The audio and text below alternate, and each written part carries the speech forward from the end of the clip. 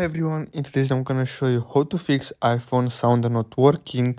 So I've tried a lot of things, but the only way I fix this problem is by resetting my iPhone.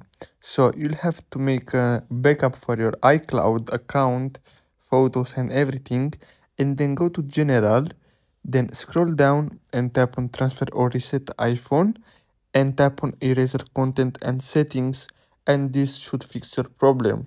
So I hope you found this video helpful. Thanks for watching.